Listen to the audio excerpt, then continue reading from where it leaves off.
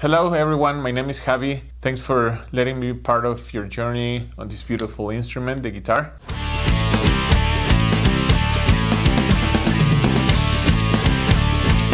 Today I want to show you an exercise that will help you develop accuracy, coordination, strength to your fingers, and to also just help you develop a proper technique. This is a chromatic exercise. If you're not familiar with that word, I recommend uh, Google it. I don't want to get into the theory of things right now. This is more about how we're going to be using our, our hands.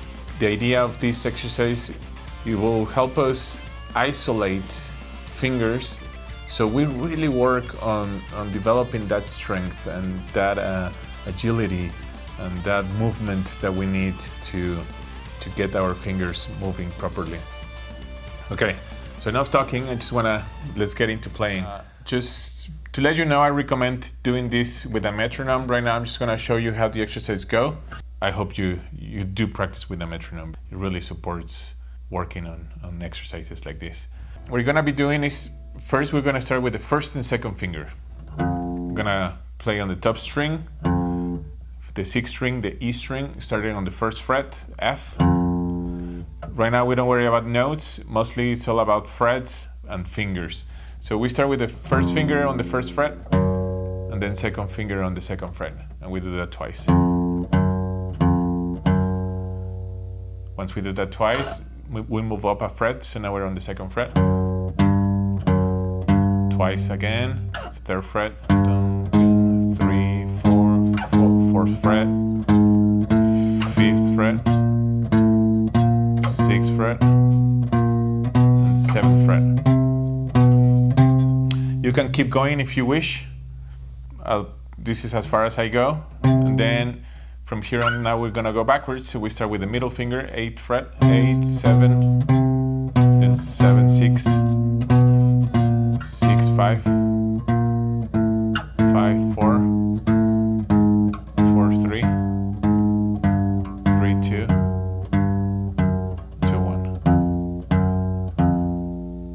that's it. That's uh, that's the the concept of this exercise, and we're gonna do that. Um, if you wish to do all strings, I recommend go ahead and do it in all strings, because then you develop a relationship on on how each string feels. Pressing on the sixth, sixth string is not the same as pressing on the first string. So you might need a little more pressure or just just finding your, your way with the string, fifth string.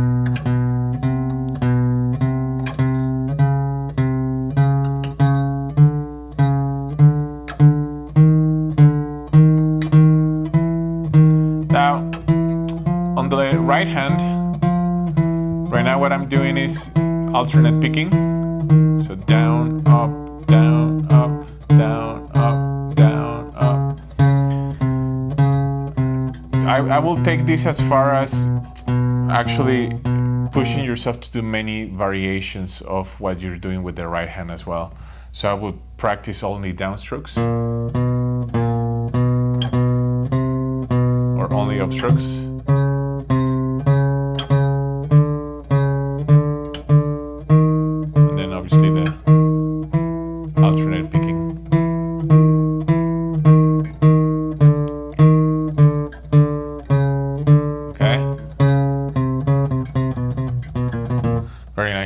Then uh, we're gonna do the same thing with the second and third finger. So now middle and ring finger. Same thing. If you wish, also you wanna take it to the next uh, level, in a sense, alternate picking or finger picking. Start maybe with just one finger, so only your index.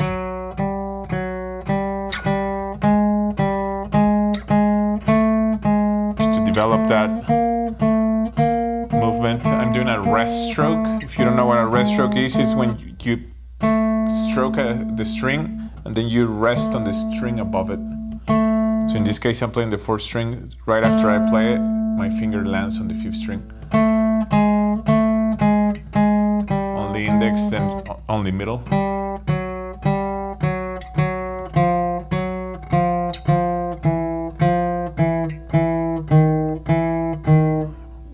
To the third string, Now alternate, so index, middle, I am. If you don't know that, index, so on the left hand we have finger one, two, three, and four, and on the right hand we have P, I, M, A, and sometimes E for the pinky.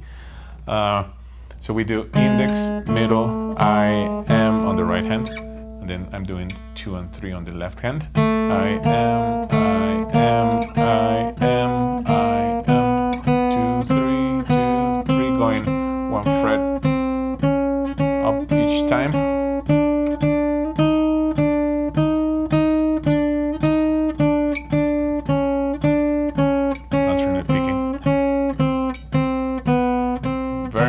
exercise, and, but very helpful.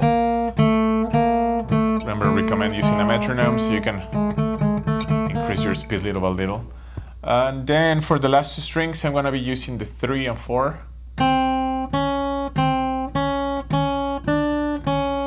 Go back to playing with a pick. So if you notice, playing with a pick and playing with your fingers, you get different tones. So I, you want to get really serious on the guitar, I recommend getting proficient in both ways. That way you have the, the choice to whatever whatever you need.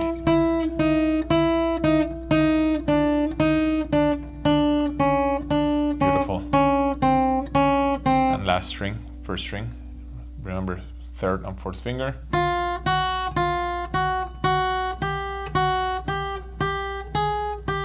Uh, for example, I noticed at the beginning that I was kind of tensing my other fingers like this. I was like stretching them out.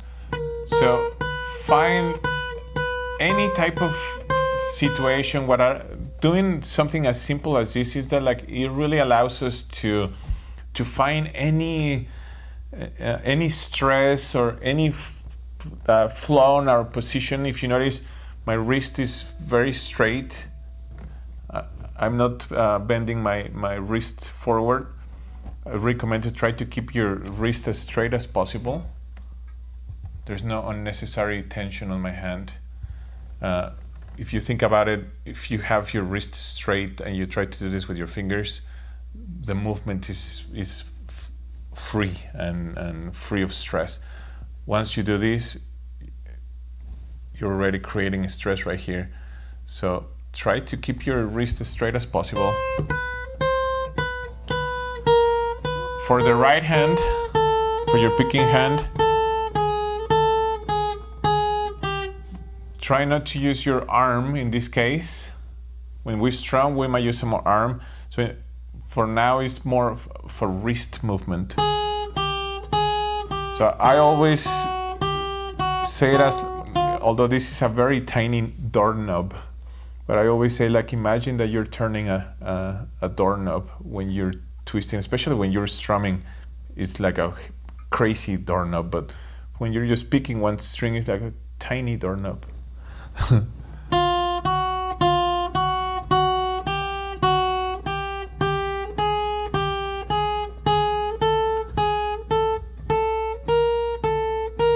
One thing that I learned uh, from a teacher of mine, uh, it was a class called Playing Techniques, was uh, to not have any unnecessary pressure with my thumb. And I asked for help at that time because I had an injury on my thumb after, after a ski trip. Uh, so it was very painful to play the guitar at that time. Even to hold a, a, a glass of water, I couldn't. My thumb was just, the tendon was uh, injured. So, and, and this will help you even when you do bar chords. It's a concept that from then it just changed my life, which was to, when you press, try not to think that you're squishing the neck between your fingers and the thumb. Instead, feel almost like you're pulling the guitar towards you and using the, the way of your arm and your shoulder. And then this, this arm is, helps so the guitar doesn't move forward. Uh, so theoretically, you should be able to play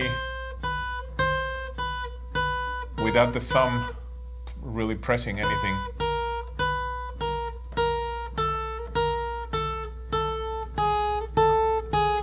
And that just really, relaxes your hand so much.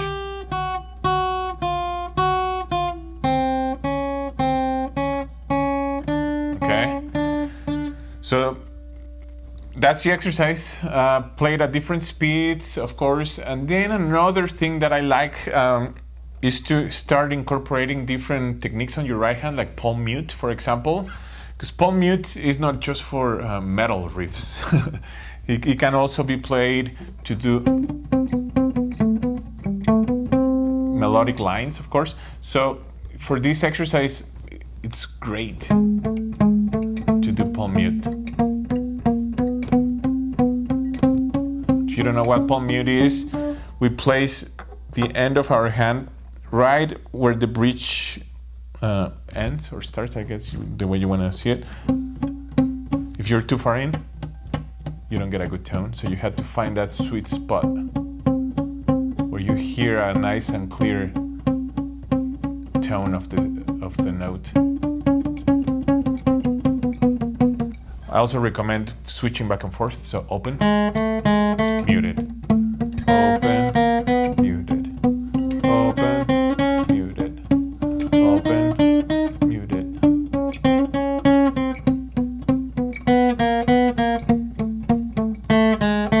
Okay, something that I've noticed and in my own experience, and then seeing other players and the whole guitar world, is that we tend to think so much of the left hand. You know, it's like you want to learn scales, you want to learn chords, all this shit. And then some people forget about the right hand. There's not so much talk about the right hand. And this is the one that emotion, speed, rhythm, uh, you name it, you know, this this is the one that makes it all happen. The, the picking hand. This one is just if you press a chord, uh, that's all. You know, this is the one that makes the chord happen. So the more you can find different ways to use your right hand, the more colors you will bring to your music and to your expression on the instrument. So another thing I recommend is dynamics. Dynamics, it's the best way to bring uh, an emotional change in what you play. Because even in, in an exercise like this, if you're playing hard, it has a certain emotion, you know, like an emotion of uh, I'm assertive and I'm here I am, like galloping through the notes. If you play soft,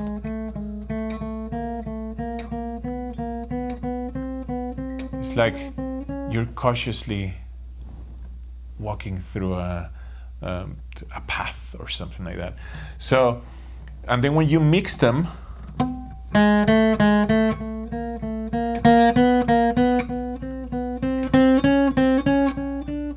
you're not only developing uh, a better control of your right hand, but you're also developing this, uh, you're managing an emotional expression of the instrument. Because for, for an audience, for somebody that is listening, if you're only playing hard the whole time, it, it gets boring in a sense. Uh, obviously, there are certain styles that uh, ask for that, you know, to just be loud. And but to me, music requires a dynamic range. It, it helps to transmit a message better. So on this exercise is a great way to, to develop that that uh, ability to work on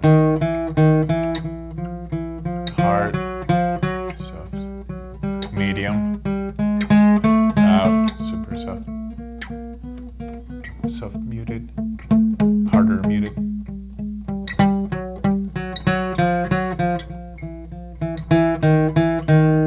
And especially if you practice it with a metronome, what happens sometimes is when we play soft, we tend to slow down, and then when we play hard, we speed up. So make sure you use a metronome when you're um, working on your dynamics, so you don't lose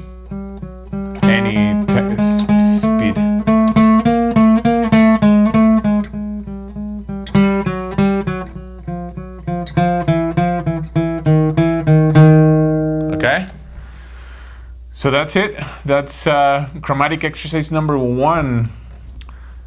Pair of fingers, one and two, two, three, three, four. Uh, one thing that I recommend for developing speed is speed bursts instead of pushing, which is also fine, but when we push ourselves only to do a, like a very high tempo,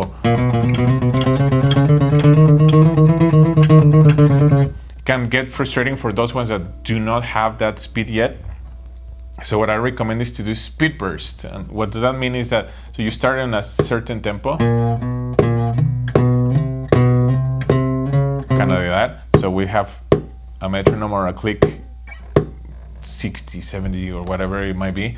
And then what we do is like, so I'm doing eight notes, one and two and three and four and one and two. And at some point, whenever you feel like it, if you want to do it every other one or do two sets of eight notes or whatever, then I do 16 notes. So it's one E and a two E and a, so it's one and two and three and four and one E and a two E and a three and four and and two E and a three and a four E and a backwards. Three and four and one E and a two E and a one E and a two E and a three and four. So that allows us to have this little moment of rest. You know, when we push ourselves, then we like bring it back. We do half time.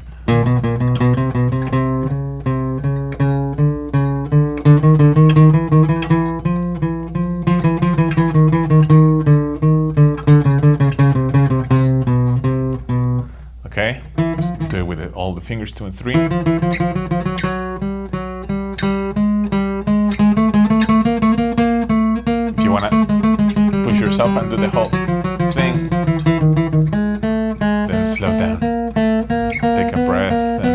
I can do this. Speed burst again.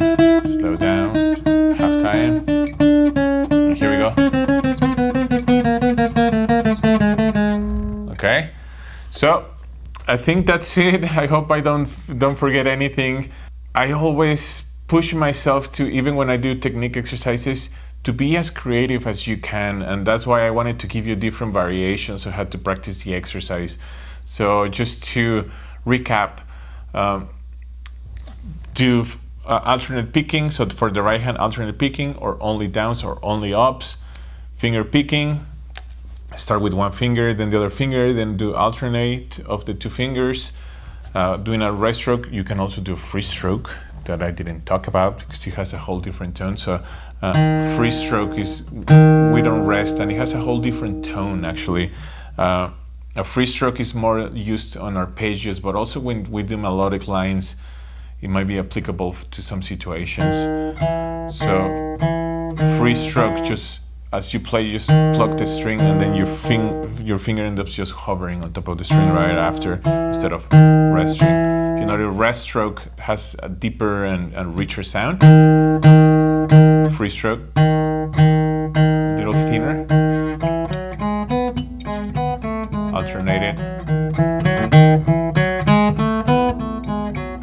so nice when you mix them, you know, you can start really doing different things with the sound. But anyways, so picking, downstrokes, upstrokes, alternate, alternate free stroke, uh, uh, rest stroke. Then you can also uh, work on your dynamics, play loud, play soft. Try to find that sweet spot when you're loud but not harsh. Find how loud can you get before the string really gets like stressed out or something. Like that's too much. But you never know. You might want to use it at some point. You know, if you're playing punk or metal or or something that requires like a like a note that is like here it is. You know, so it's okay. Sometimes, just don't play like that all the time. Um, soft, muted.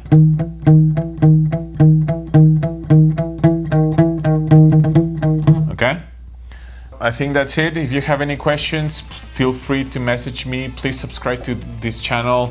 I'll be giving you all more material and more tips that will help you on this beautiful journey. Also, I have a Patreon page that keeps these videos coming. Uh, if you feel inclined to be a patron and support what I'm doing here, I will appreciate that. And I'll see you next time. Thank you all.